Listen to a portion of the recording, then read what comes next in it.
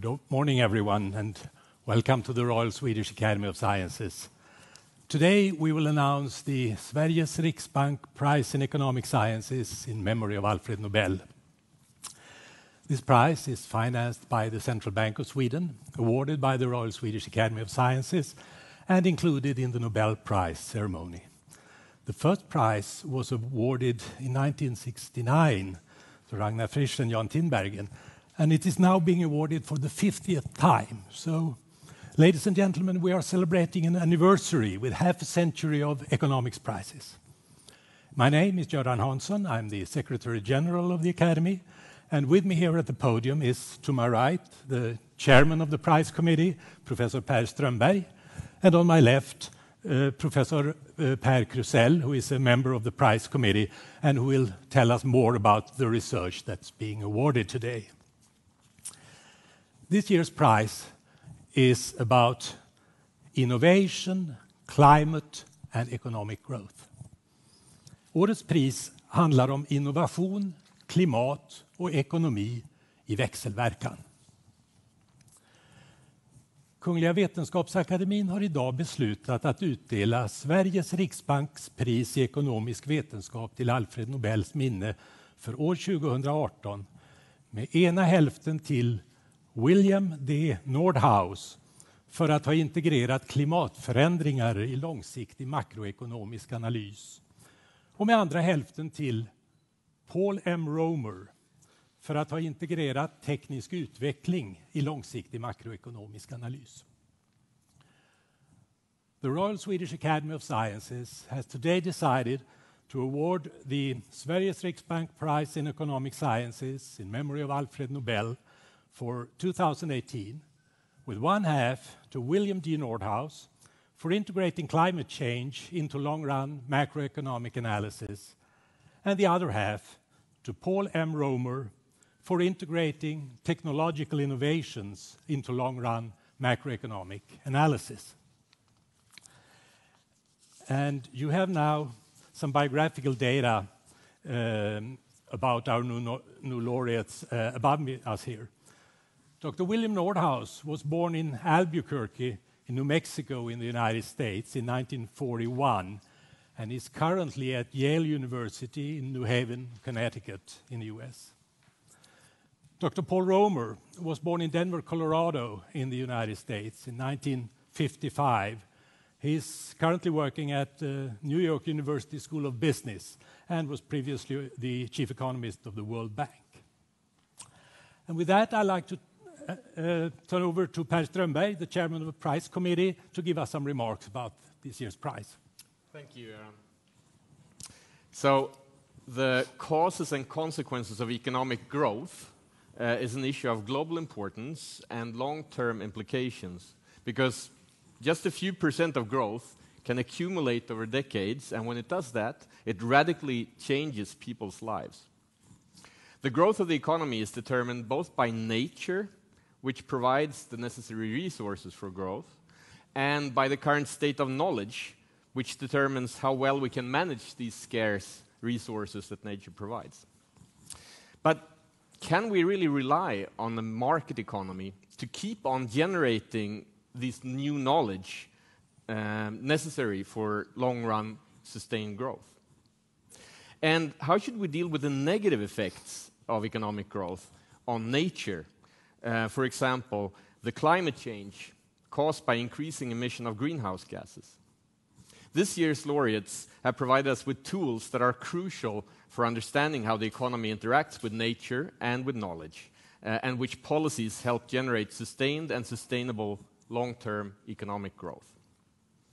In the mid 1970s, as natural scientists started to become increasingly worried about the effects of greenhouse gas emissions on the climate, William Nordhaus started studying the interplay between the market economy and the global climate.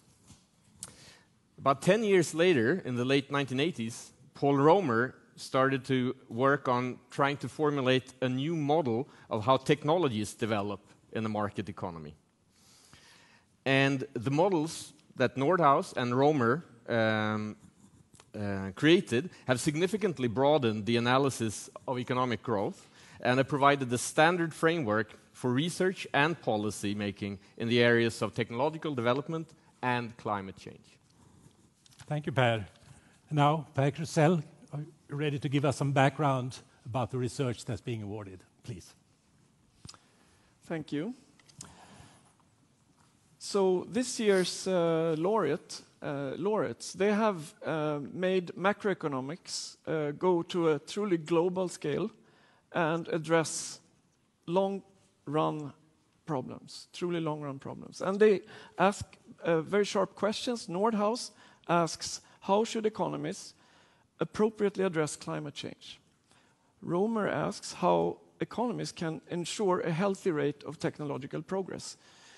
These are questions that are of vital importance to human well-being. But it's easier to ask questions than to answer them, and they both realized that the frameworks for addressing the questions were actually missing in economics. So their task became to come up with frameworks so that you could ask the questions. In 1994, Nordhaus was done, uh, at least with its first complete integrated assessment model. It's a framework that describes the interplay between the climate and the economy. In 1990, Romer published a complete theory of what's called endogenous technical change, uh, which allows us to understand the economic roots of technological progress. So Nordhaus built a model that he called DICE, Dynamic Integrated Model of Climate and the Economy, and it has three interdisciplinary parts, modules. One is the, econ the economy, another one is the carbon cycle, and the third one is the climate. In the economic model, Nordhaus builds on traditional growth theory, but he adds uh, fossil fuel as an important uh, good for businesses and households. They use it for their energy needs, and this gives rise to carbon dioxide, CO2 emissions. Carbon dioxide uh, moves into the atmosphere and goes into carbon circulation among different reservoirs. That happens in the carbon cycle module. And finally, the climate module describes how the climate uh, is affected by the greenhouse gas carbon dioxide. The climate also affects the economy by causing damages by global warming, and that's also described in the economic module. so now we have the pieces that are needed to do the analysis. And I'll show you um, an example of how DICE is put to use. This is a graph that shows us uh, what the model predicts for carbon dioxide emissions over time. This, under the assumption that we don't change our current climate policies. Here's another graph that's what comes about if you do a calculation that's similar to what governments do when they do cost-benefit analysis and think about pros and cons. That leads to a carbon tax, and that curbs emissions. The next one is also the same type of calculation, but where the government puts much higher weight on future generations, and you see that emissions fall even more. Finally, a similar path is arrived at if you set a maximum degree of warming to two and a half degrees. So these kinds of calculations and different generations of DICE have been key input into the IPCC reports. Paul Romer, in the 1980s, puzzled over the following type of data. Here you see growth experiences of three countries. They're just examples, but they illustrate something important. Chad grew between 1960 and 1981 by minus 2% per year. Singapore grew by almost 8%, plus 8% per year. And the Philippines were like in the middle, and they actually grew like the, the world as a whole. So you see huge income gaps opening up over the course of only two decades. This has staggering consequences for human welfare, and Romer concluded that likely technological growth was behind the long run economic growth observed in these different countries. So he asked himself, what explains this technological growth in market economies? And the crux was to understand ideas, he thought, ideas for new technology. Where do they come from? And his vision was to build uh, a framework where ideas give rise to new ideas, which give rise to new ideas, propelling growth over time. So, what kind of a product is an idea? He had to come up with a new way of thinking about goods and services. And I'll try to illustrate this here with a rectangle. And so he, he thought of normal goods from the, the, textbooks as rival goods. Here's an example of a nice uh, dish of Swedish meatballs. That would be a rival good. Uh, it's rival because when I eat the meatballs, nobody else can eat them. Not very deep. But uh, here's an idea. An idea is a non-rival good. This is the Pythagorean theorem, uh, and when I use it, and people use it all over the world at the same time, I don't prevent anyone else from using it. They can use it for free. That's a very valuable idea. But it's not the kind of ideas that markets provide. Here's another idea. What is this? This is uh, computer code, but you can't really see that it's computer code. Why? Because it's encrypted. So there's a, a dimension of ideas which is they can be excludable or non-excludable. The theorem cannot be excluded, uh, but a com computer code, code can. And Romer realized that it's the excludable type of, types of goods that can be provided by markets.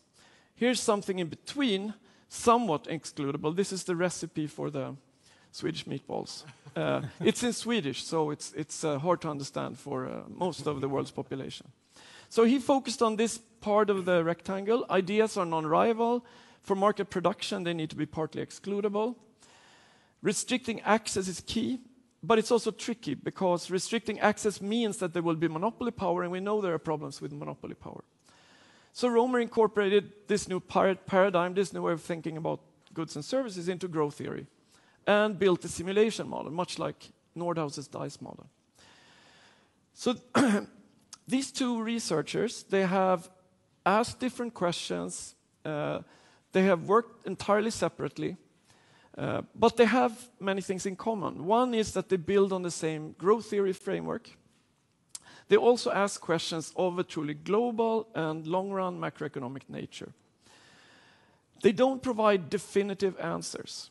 Why? Because these answers are, these, the questions are huge and very difficult to answer definitively. But they offer us the methodological tools to begin finding them uh, in the form of dynamic simulation models.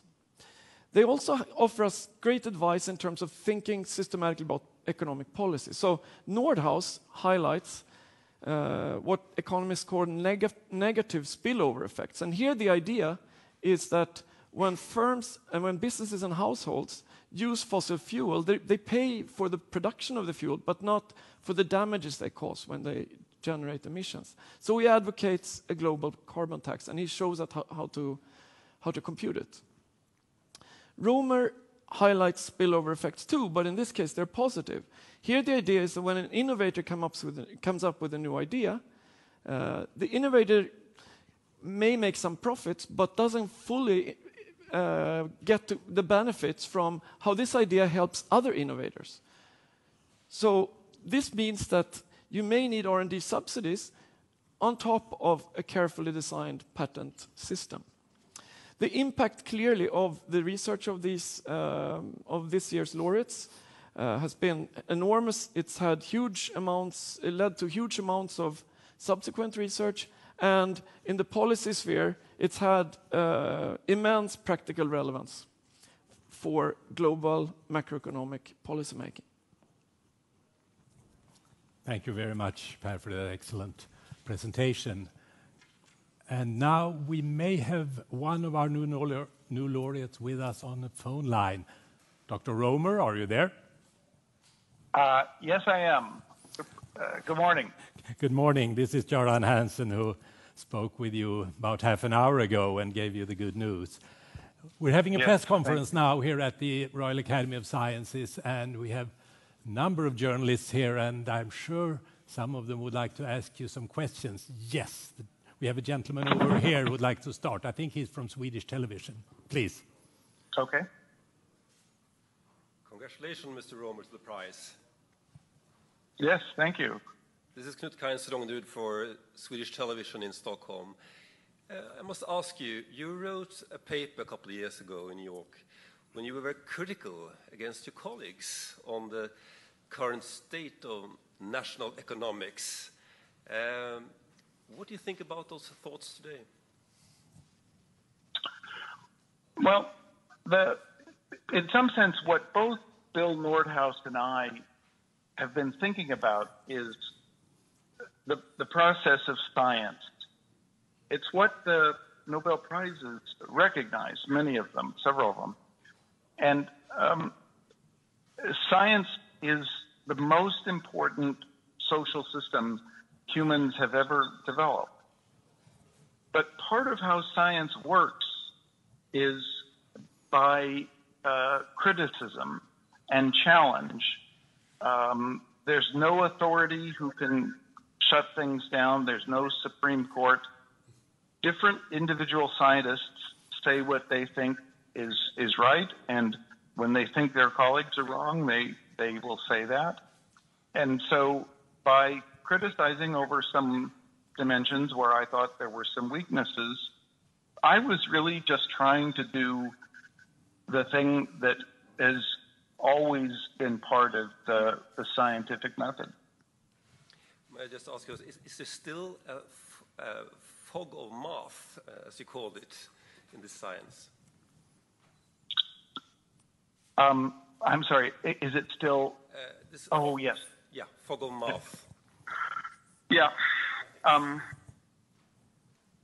this is a subtle issue because math is a language, just like, you know, Swedish and English are languages. Math is very good for producing results like and explaining results like the Pythagorean theorem uh, that Per mentioned.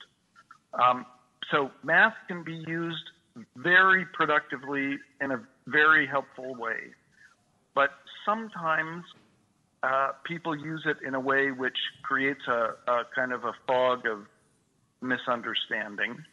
And part of what uh, I was pushing for, and I think I, you know, everyone needs to keep pushing for, is that we all try as hard as we can to communicate communicate clearly, because this is part of what Per's presentation brings out is that knowledge is valuable only if it's communicated to other people.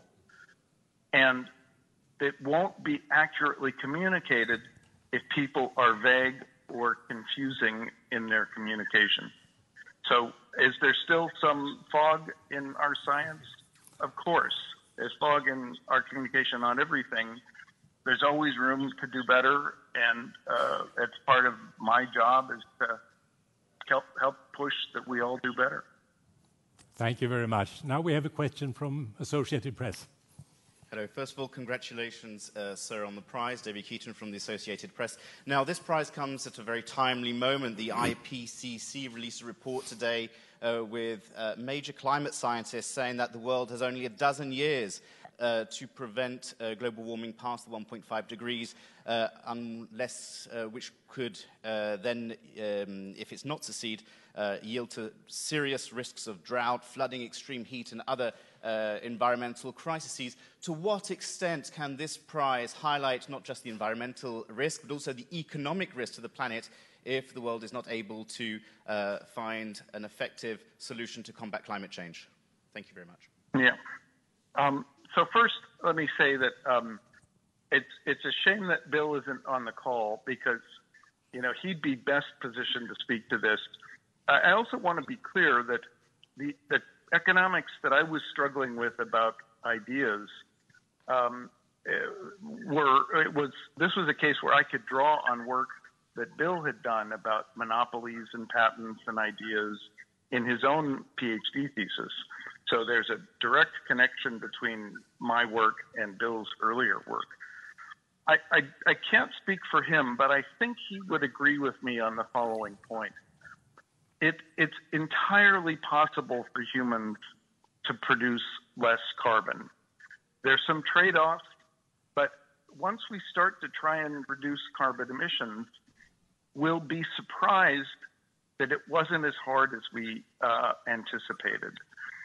I, I read a little bit about the concern people had when we addressed the problem of the ozone hole caused by chlorofluorocarbons.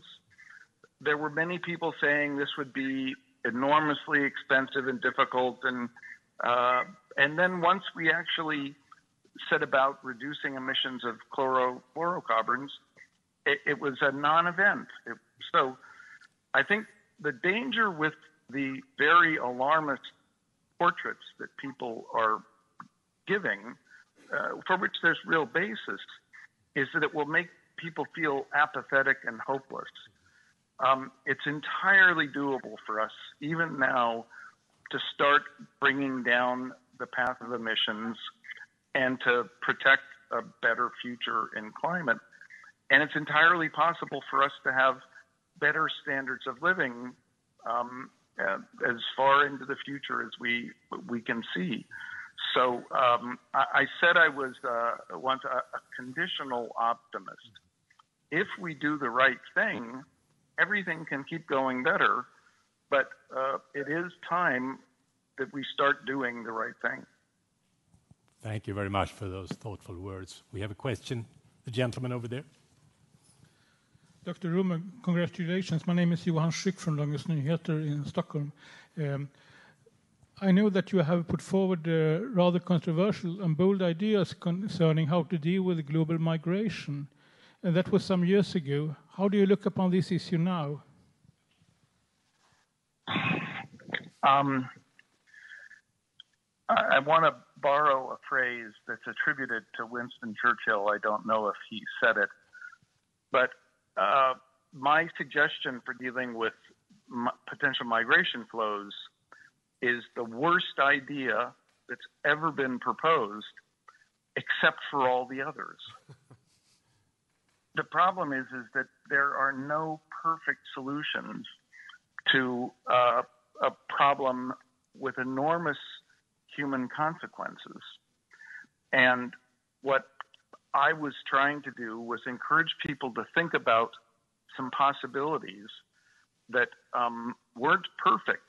There's no question they wouldn't be perfect, but they would be better than what we have now, and uh, I think better than any of the alternatives that uh, that others have suggested. So, as as I think people have come to realize we don't have good alternatives. And as they've realized the scale, there are hundreds of millions of people who say they want to leave the country where they were born. Um, I, I, think that you, this may be a time where we also start to think a little bit about um, what could we do to give people who are desperate to be safe, desperate to have a job, desperate for their children to have a future, what could we do to make it possible for them to uh, uh, to pursue those uh, those goals, the things that we all pursue? Thank you very much. Now we have time for one or two more questions. Was it who was next? The, the lady over there, please. Uh, congratulations. I'm Sufichin Aksasong from Green Post and China Radio. I ask a, a simple question. Uh, how uh, have you uh, expected uh, that you win the prize? What was your reaction when you heard this news? Thank you. Well, I I got I didn't I got called I got two phone calls this morning and I didn't answer either one because I thought it was some spam call. So uh, I, I, wasn't I wasn't expecting it, the the prize. But finally, we uh, were able to establish contact, uh, unfortunately, before the press conference. Yes, the gentleman over there. Uh, Anders Palmgren, Swedish TV4. Congratulations from me as well. Uh, in what way do you think the prize can contribute uh, to focus on the climate questions?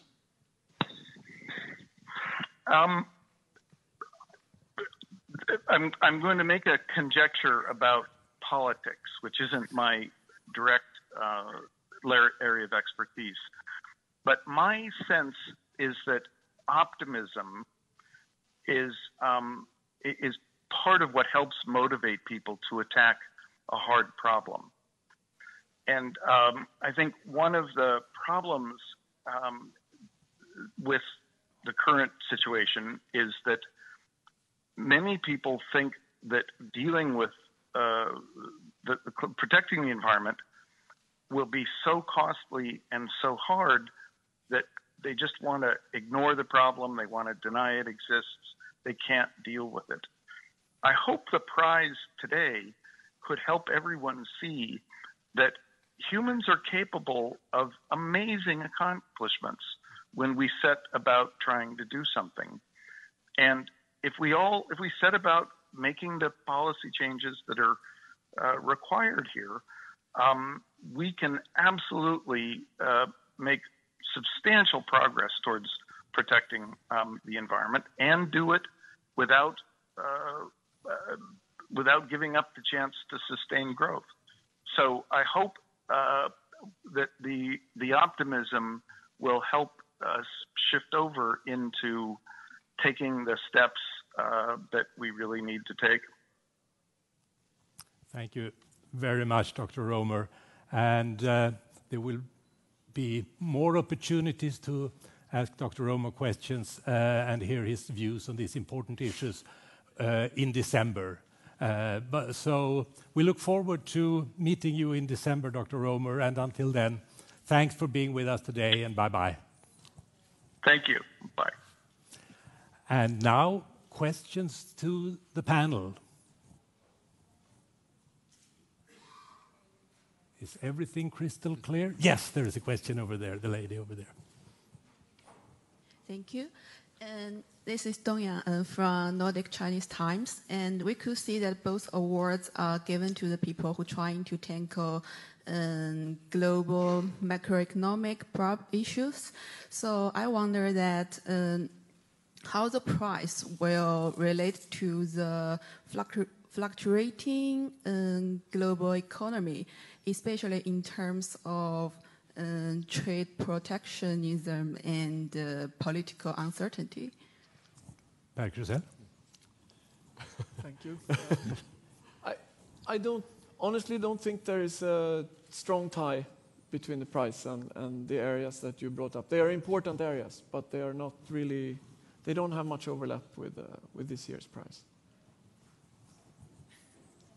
So how do you think that the price will uh, improve the efficiency in emerging markets? I don't think it speaks to that very much. I mean, the, what, what, what, uh, what the price talks about to some extent is, is uh, the importance of knowledge growth and technology growth, but it's not very specific. So obviously, emerging markets benefit uh, enormously from the technology uh, revolutions that the leading te technology countries go through because, because they can ride on the wave of technology that innovators in mostly you know, the rich countries today uh, contribute. So in that sense, but I don't think it's, it's not a topic that we focus much on in this particular prize formulation. It, yeah, if I can add to that, uh, both of these prizes are really about global problems that you know the whole world needs to get together to solve, how to get the right amount uh, of technological progress, how to solve the global problem of climate change. And I guess if there's a message that's relevant here, it's that we, we need to get together, okay, to, to get a global solution. And to get a global solution, we also need to realize, you know, rich countries need to realize the problems that uh, emerging markets have with implementing some of these solutions, you know, how in, when it comes to patent protection, when it comes to uh, uh, emissions and so on. So I guess the message is that you know, it's needed for countries to cooperate globally to solve some of these big questions. Okay. So, okay, one last question. You are again. Uh, thank you. Uh, both these uh, winners of the prize have been expected for quite a long time, but not that they will get it, the prize together. And well, one interpretation could be that some people in the prize committee are fond of climate and others are fond of growth, and then you have made a compromise. But another is that there is, something really connecting these two great economists. But could you tell uh, what is then uh, the link between the two uh, a bit more than you have already told us. So, okay. Yeah, so, the, so it's, uh, it's not the first interpretation, for sure. uh, I, uh, I can also tell you that when Paul Romer received uh, the call, he was uh, super happy that it was also given to Nordhaus. I mean, he's clearly interested in Nordhaus's work. They're interested in each other's work, and I think it's because they are part, they're part of the same agenda uh, to think about the long run and, and to think about global issues. Um, so, and they're, they're asking fundamental questions, extremely difficult questions. Uh, so they, they have these things in common, but they also have in common that they built these tools that, that are very much alike. They built simulation tools that the rest of us can use and look at and study and improve. And um, so I, I, think it's, it's this common base that they built. That's another thing in common. Uh, they have a similar view of how to think about economic policy as well. As I em emphasized in the presentation, they both think in terms of market failures, but they're kind of different in nature, but it's the same type of recipe uh, that they offer. Uh, so, I, so, I, think that there's, uh, there's a lot of things in common, and, and, and in fact, there is uh, new literature coming out that, that I think Paul, was, was, uh, Paul Romer was uh, referring to, which is that to address some of the climate change issues, you really need to think about new technologies that replace fossil fuel. Maybe new technologies that can remove carbon dioxide from the atmosphere. There's a range of technology solutions. I think without these technology solutions, uh, it's going to be very hard. I think that was implicit in what, what Paul Romer said. So, how can we think about those things without having Romer's shoulders to stand on? Uh, so, I think there's a lot of connections. I think it's only superficially that they look different. Thank you. And I think with that, we'll close this press conference, and now there will be opportunities for individual interviews. So thank you very much for your interest, and welcome back in December or next year. Thank you.